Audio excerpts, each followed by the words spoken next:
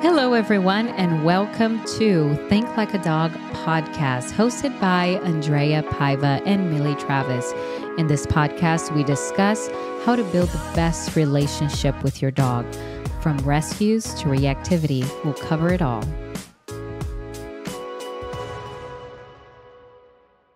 Welcome back to Think Like a Dog podcast. And we are on episode seven today, and we're going to discuss bringing home a new dog. This is actually part three of the series we've been doing.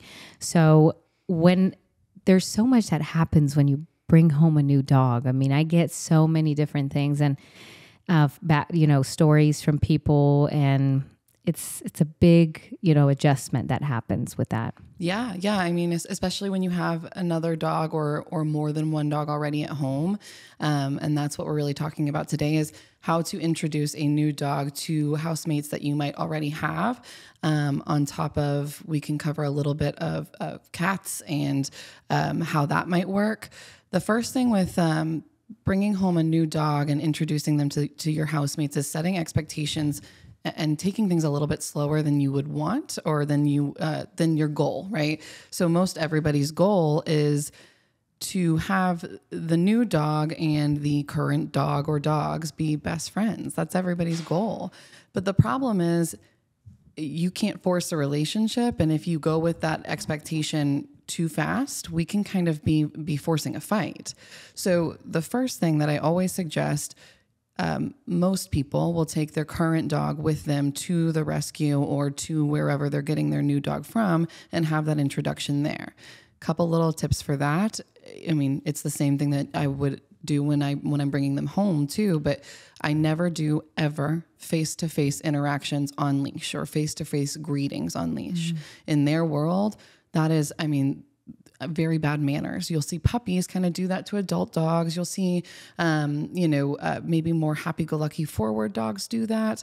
Uh, but it is a very rude way of grading each other. On top of, I don't do on leash introductions because a lot of times people are putting a lot of tension on the leashes. So that can kind of be signifying to the dogs that it's a little bit of a mixed signal. So we can we can really force a fight there. One one thing that I would say is bring your dog there and then just your goal, um, my goal would be that they don't care about each other. That would be my goal. I would hope that I can bring a dog in there and they don't immediately play because if they immediately play, then I'm already out the window. Uh, they don't care about me, right? Mm-hmm. I'm no longer relevant. They don't care. Um, and I have no way of controlling that play when it gets a little bit too rough. My goal would be that they walk in there and they're like, cool, a dog. Yeah, it really doesn't change my life too much or too little. So that's that, that would be my first kind of what I'm looking for when I bring my dog, my current dog or dogs with me to the rescue to meet the new dog. Bringing them home is a whole other thing. And you're going to see things like with when you brought home, Bubbles home, everything was great yeah. for a little while, right? Yeah. Yeah. So if you kind of bring them in and everything was great and everything's great for a little while, that doesn't immediately mean that there's never going to be problems.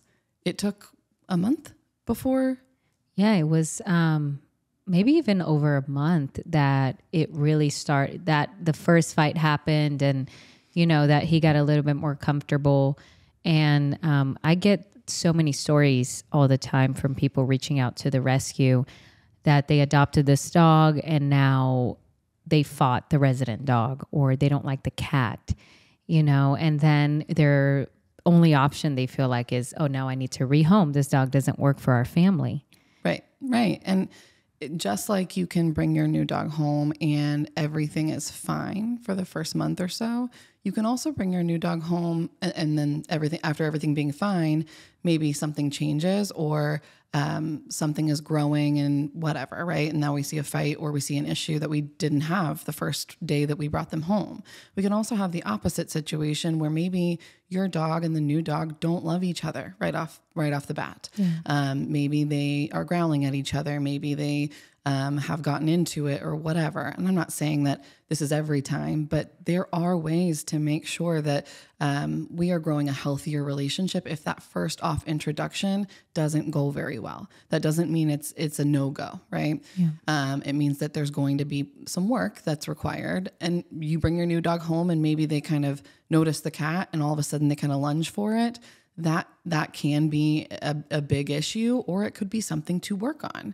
Um, so that first interaction is important, but it doesn't speak to what you can create. Um, so you bring your new dog home, and just for the sake of it, an example, let's say you only have one other dog, and for the sake of that example, we'll say you have one cat as well. The first thing that you are going to do, you are not going to just bring that dog into your home with your other dog already in there off leash. One, your other dog has no way of expecting that there's going to be another dog walking in. Two, the new dog has no idea where they are. The first thing that you are want, you're going to want to do is walk them together. The reason that you want to walk them together is not so that we get some exercise in them. Yes, that is a, a huge benefit of it, but you're setting the tone for, hey, there's another dog right here but I am in control of this dog and I and to the new dog you are going to be saying hey there's this dog over here. Yes I know this dog but I make the decisions for this dog. So neither one of you guys need to worry about the other one being a threat. You also don't need to worry about the other one controlling resources. So taking them out on a walk in, in a neutral-ish territory like your neighborhood it is going to be super beneficial. But the goal of that walk is not that they're interacting and sniffing and playing, it's that you are moving and, and they're moving with you and you're leading and they're following. You're setting the tone for how that relationship is going to go through the course of their lives. And that's yeah. very important. And when you bring a new dog home, should you pl- first crate the resident dog, then crate if you're not able to immediately take them on a walk? How would that go? Yeah. Um, that one's tough. I mean, if you're not able to immediately walk them, I hesitate to say the crate because if your dog, let's say your dog isn't crate trained, then that's not fair, right? Mm. Um, then the crate is is just becoming like this holding cell for uh, something that they can no longer control, which is a new dog coming into their home. Um, but if if you're not able to walk them, I would say we need to make sure that we have somebody to help you walk them, or we have somebody there holding the other dog on a leash so we can kind of communicate a little bit better. Um, the only time that I will ever say uh, that crating is your best option for introduction is when you're bringing home a tiny little baby puppy, right? And you've got an adult dog. Okay. So, my goal for that is you put the puppy in the crate, the new dog, new puppy in the crate, and your goal or your what what I want to see is the older dog or the larger dog, whatever, the, the current dog, not care at all about the puppy. But what a lot of people do when I have given them that advice is they'll put the puppy in the crate and they'll they'll grab the current resident dog and they'll be like, "Look, look at the puppy." But my I don't want that. I, I want the it's great if the dog doesn't care about the puppy. That's your best bet. On top of you're teaching the puppy, hey, not everything is here for you to interact with, um, and, and, you're really advocating for your adult dog in that moment. Um, but yeah, my my first uh, go to is always going to be a walk, even if it's not a dog that you're adopting, but maybe it's your friend is coming over and they're bringing a dog with them. Go on a walk together and your your goal is always that they don't care about each other. It's always neutrality and then you work from there. Okay. So after that walk, would it be okay to let them off leash and let them interact? Would that be the the best? It depends. Um, I would say if you are um, if you're a little bit unsure or maybe this is maybe only your second dog you've ever owned, or the current dog that you have has some reactivity issues or is dog selective, um, I would say no. We're going to take that even slower. But let's say you you know that the dog that you are adopting is coming from a foster, and that foster says that every dog that that dog has ever met is perfect with other dogs or whatever, um, and your dog is, has has a really good socializ- socialization skills. Then yes, let's let's do a little bit of interacting, but let's maybe keep the new dog's leash dropped or at least in your hand, so you've got something to enforce direction with.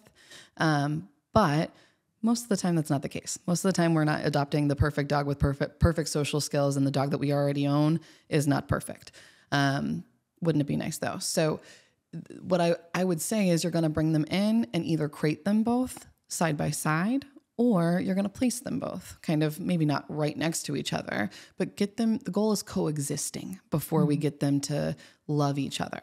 Because on one end if they love each other too much then once again, they forget you exist, they forget you're in the room, and you have no way of controlling interactions if they become if they become too rough or um, maybe unsafe for either your furniture or themselves or the people around them while they're playing. Or let's say they become a little disrespectful and then a fight breaks out. And maybe you knew that that was going to happen at a level seven, but you didn't have control over that. So then all of a sudden it went to a level 10 and you, you couldn't stop it yeah. because we immediately let them start interacting. So my goal, the first probably week, two weeks, is a lot of direction, a lot of it to make sure that whatever happens, if they're going to love each other, hate each other, not care about each other, you have the ability to control it and to keep everybody safe. Yeah. So after that first walk, you know, that's a really important step to get them to understand each other, understand the presence of each other, and that you're still leading that relationship.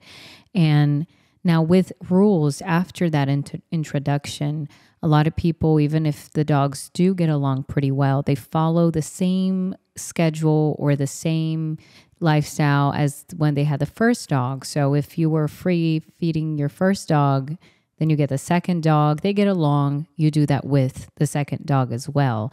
Now, how would you say about the rules and boundaries that you're going to set for this relationship now that, that you have two dogs? Right. You know? Right. Or even just one and you never had a dog, how would you start setting these rules and boundaries in your yeah. home? I mean, we talked about that in the last um, episode of what the first month really looks like um, and, and, ways to. Uh, to make sure that we are creating a healthy relationship that we can enjoy throughout our dog's life.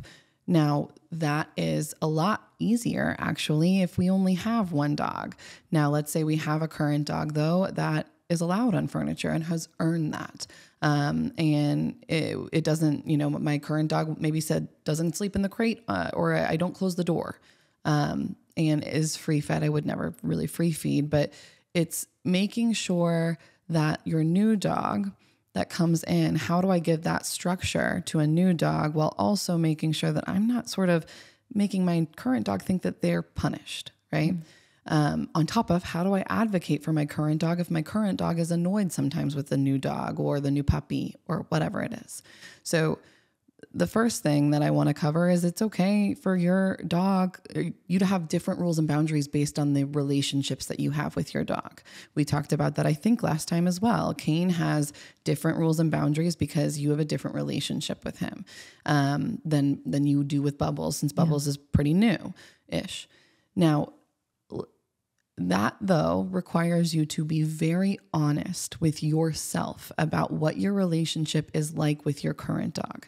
If you bring a new dog home and you are worried about your current dog having reactivity issues with your new dog, then you might not have the relationship that you think that you do. And and it might be best for everyone involved to make sure that we put everybody on the same playing field. So I really if I ever have, you know, housemates that fight whether they've lived together forever or not, I love making sure that everybody is on the same page. So both dogs sleep in the crate right next to each other. They both eat in the crate. They both have structured feeding times. They both have all the same rules. Nobody's allowed on furniture.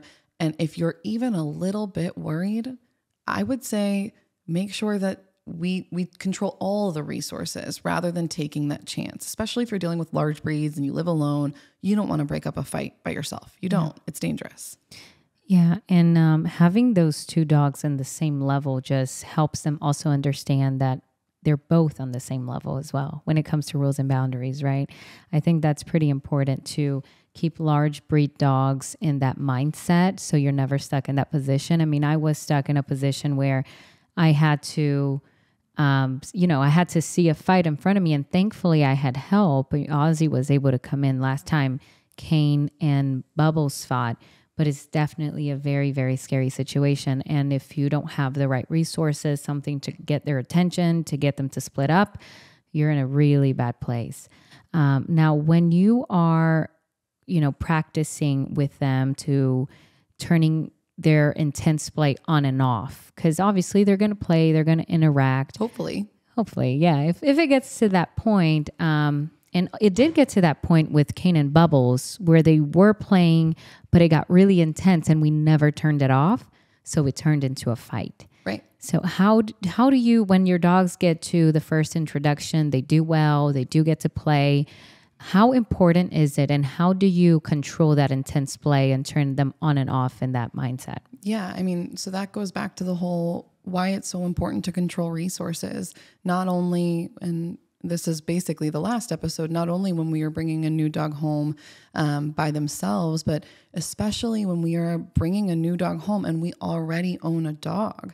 It is so important to control resources because if we don't, then we are not seen as somebody who is able to control the any anything anything so whether we're out on a walk and we see something we've never seen before um, our dog isn't going to look to us for direction when we are playing with our housemate and maybe we get a little bit too rough or the other housemate gets a little bit too rough our dog isn't going to listen when we try to call them off it's it, we're not setting ourselves up to be somebody that that can keep our dog safe when it does get to that level if it does. Now, practically, how do we do that? A leash. Uh, the leash is your ultimate enforcer. So, your, um, I know you have a couple of our, our 12 foot leads. So, what we practice a lot at day camp is allowing a dog to maybe go out and have an introduction or um, start playing um, for our dogs that are still learning their social skills. And then we we kind of look and see, okay, well, the other dog is tense or this dog is getting tense, and we become almost like the referees. So mm-hmm. um, we kind of judge and see, okay, who's is this a healthy social interaction or is it not?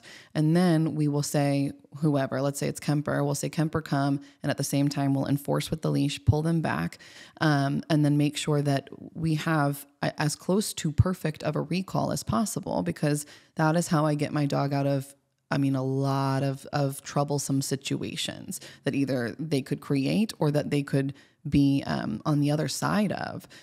Recall is is your your biggest your biggest command if you're going to learn anything, and we're going to have an entire episode with um, with Jillian, one of our, our last assistant trainer that nobody's met yet, um, on recall and the importance of that because it gets your dog out of so many tough situations without having to utilize only corrections. Yeah. And you know what I've seen a lot of lately is people bringing home a new dog and later they find out they don't really do well with the cats. Yeah. And I think that's crazy. I mean, like to expect a dog to just instantly be okay with a cat if they've never seen a cat. I mean, Kane is a great dog. Yeah. But he's trauma like he doesn't really do well with cats. Like one time he the first time he saw a cat, he was at our groomers and she said she has a cat and the cat just walked by and she said Kane literally screamed. She's like, I never heard a dog scream before, but he screamed. So I um I saw uh, something on Facebook yesterday. It was a dog that we really advocated for, and we um, she was part of the 100 Club that we sponsor their their adoption fees. Uh, our foundation does, and she was adopted to this home in Alabama. And someone sent me a post that that family is now on Facebook trying to rehome her mm.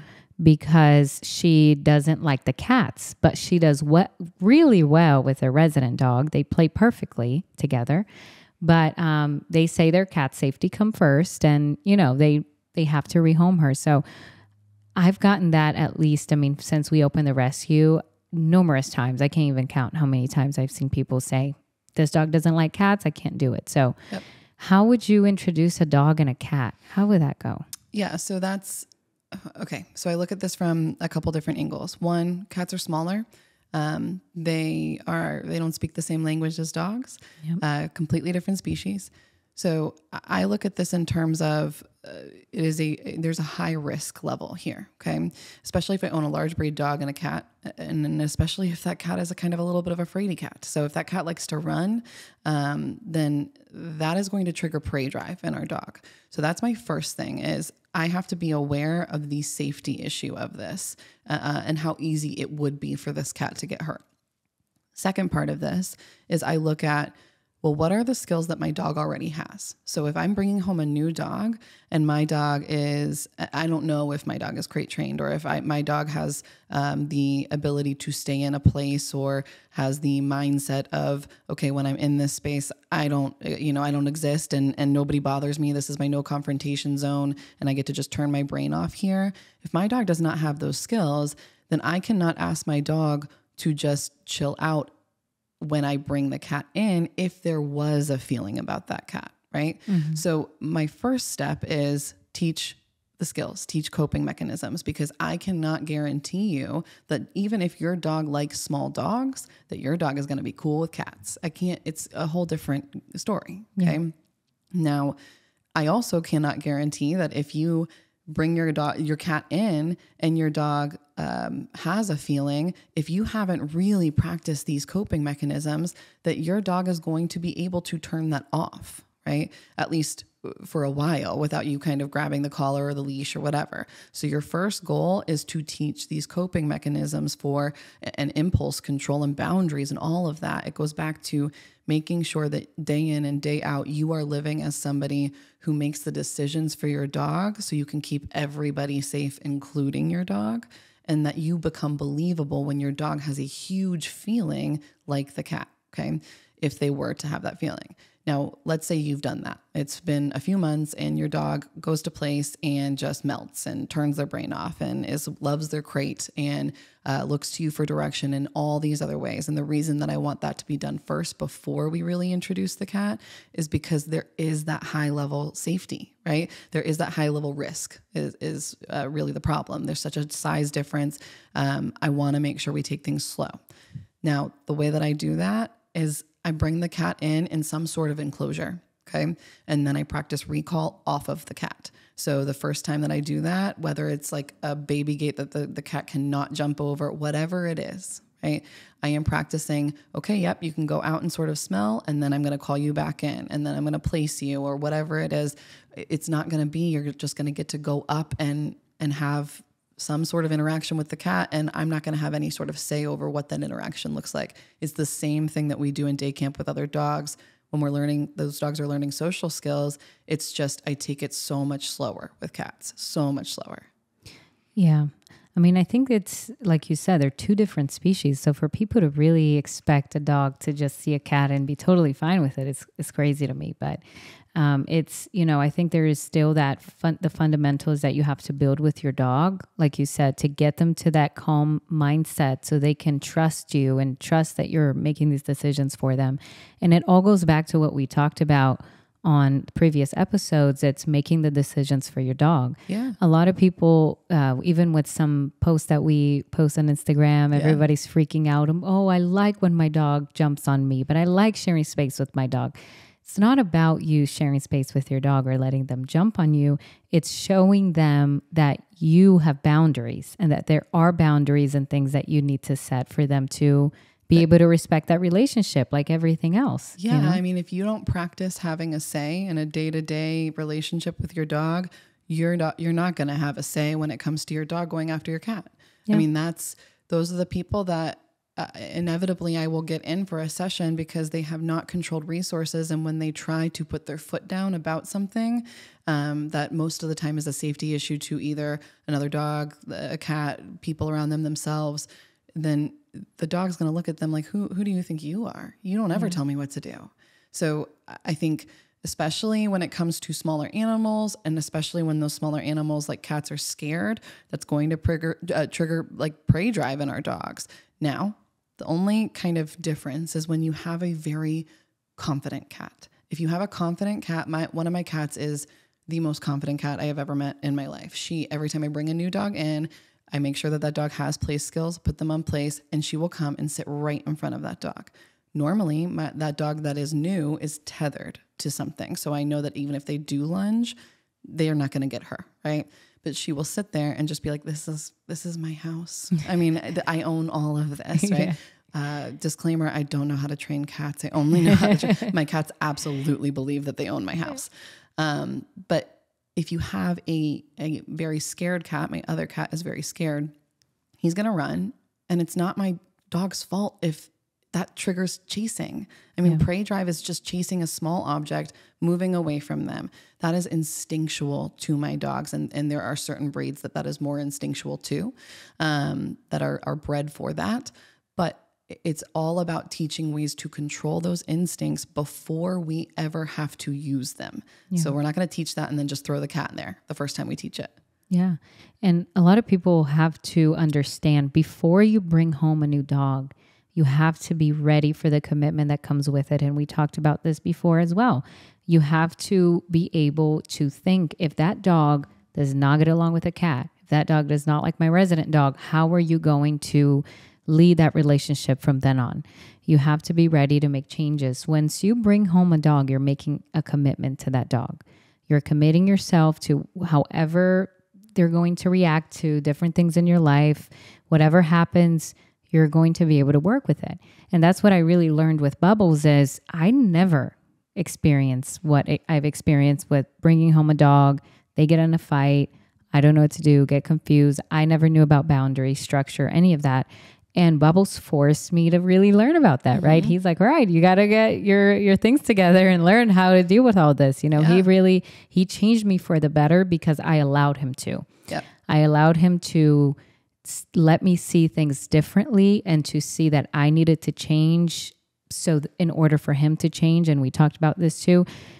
Once you bring home a dog, you allow him into your life and they're going to have likes and dislikes you're going to have to deal with that. You're just yeah. going to have to roll with it and and make changes and commit yourself. But I just hate when I see people bring home a new dog and then all of a sudden, this dog doesn't work for me. You know. They, I think the biggest theme that I see is they put so much human into it. So yeah. um, I see a lot of people who say my dog is jealous um, of the new dog, or my new dog is jealous of my current dog, um, or I feel bad for my my current dog or my my original um, dog because they're not getting as much t- uh, attention as they used to. You've got to take the human out of it, and you have to realize that the first couple months it might not be how you want it to be two years from now a year from now but your goal you're working towards that you're uh, by by not just forcing it you are working towards how you want it to be yeah. so by controlling things um, and limiting resources and making sure that you are somebody who the dog listens to, you are working towards being able to have your pack together, happy, healthy, playing, maybe not playing because that's up to the dog, but uh, coexisting healthily, safely, happily. But you have to put, there's going to be a few months of this at least that you're not going to get what you want out of the dog. So you can't go out to the shelter and get a dog because you want them to make you feel better. You go out to the shelter and get a dog to save that dog's life and to provide that dog with what that dog needs and while also advocating for your current dog. Exactly. You couldn't have said it better. You have to be able to really tell yourself do you want to help a dog or do you just want a dog for your entertainment? Because if it's just for your entertainment, you're really not ready to have mm-hmm. any kind of living being in your life, right. you know? Um, but you have to commit yourself to long term results rather than short term fixes. Yeah. And once you do that, you're going to have a really fulfilling relationship with all of your animals, whether that be your cats or your dogs, and you, they can coexist. But I feel like people really need to see the bigger picture first. Yeah. I mean, your dog is not, your current dog is not jealous of your new dog. Your current dog has been taught that they own you. So your current dog is displaying some sort of behavior of, hey, you've taught me for however many years that I'm in control of all of this. I own this. How dare you bring this new dog into my home? So cr- controlling the resources helps make everybody's relationship healthier. And like you said, you are working towards a goal. It may not be fun at first, but it's it's gonna get you what you want in the end. Yeah. And one more thing that I think we should cover is when you bring you bring home a, a resident dog, you, you know, they're, they're getting along. Once you leave the house, are you creating both of them or Absolutely. are you leaving one loose, the new one crated? How would you do that? I'm either creating both of them, but what I am absolutely doing is creating the new dog mm-hmm. every single time. I really don't like, it, and I think that this is just a history of working in the vet industry and, um, you know, all these horror stories. I don't like leaving do- dogs out together when I am not in that room with them, regardless of if those two dogs have lived together forever. I, I just, I cannot control what I am not around to see. I cannot mitigate any sort of uh, arguments between them, control resources. If something falls, if somebody knocks on the door, I can't, I don't have a say because I'm not there. And I've just heard horror story after horror story of dogs getting into fights when nobody is home. And, and these dogs get very hurt because yeah. nobody's there. Yeah. Yeah, I agree. I mean, you have to be able to create your dogs And it also goes back to setting the same boundaries for both of them and the same rules, because then I think there's also that, um, you know, that relationship that once one dog is loose and the other one is is in the crate, it might create some kind of unbalance, yeah, unbalance and jealousy between both of them. Which I don't think is the case. I yeah. don't think that's the case because I think it's more, um, once again, you have different relationships with your dogs. When I got Kemper as a puppy, I had a 12 year old senior lab. She was not crated when I left. He was because he's, I love him to death, but he's not very smart still. He's still crated when I leave.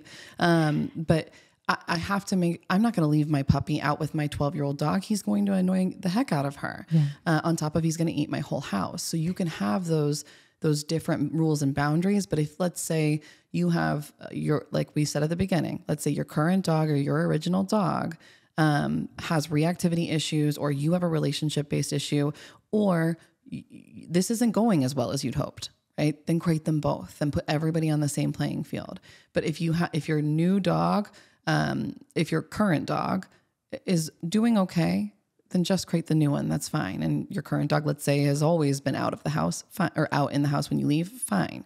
But if you're if you're struggling, everybody should be on the same playing field. And if you want to be extra safe, everybody should be in the same playing field. Yeah, I agree.